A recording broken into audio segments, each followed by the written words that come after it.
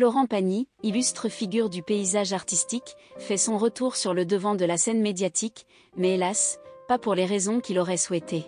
En effet, lors de l'émission dominicale 20. 30 le dimanche, diffusée sur France 2, le talentueux chanteur a confirmé la douloureuse nouvelle de la réapparition de son combat contre la maladie cancéreuse. Dans son autobiographie, l'auteur explique que suite à une erreur de communication passée, il a décidé de ne pas répéter cette faute. Il ne souhaite plus se livrer sur les réseaux sociaux, conscient des conséquences potentielles. Même son entourage, y compris sa fille à elle, a choisi de garder le silence à ce sujet.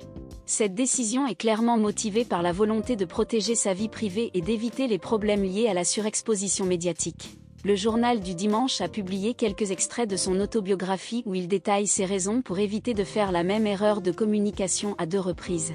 Cette décision témoigne d'une prise de conscience des dangers des réseaux sociaux et de l'importance de protéger sa vie privée.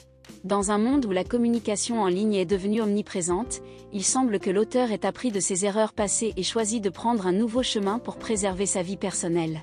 Son entourage, y compris sa fille à elle, semble également respecter cette décision en gardant le silence sur ce sujet.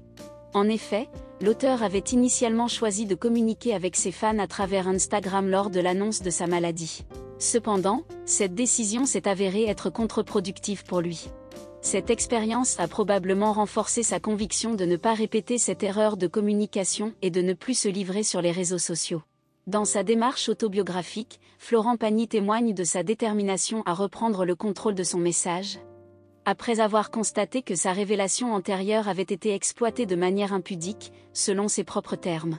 Ainsi, dans une approche proactive, il a choisi d'écrire sur sa maladie avant même qu'elle ne réapparaisse, marquant ainsi sa volonté de maîtriser sa communication. Malgré les défis auxquels il fait face, le chanteur demeure combatif, faisant preuve d'un exemple éloquent de courage et de résilience face à cette épreuve ardue.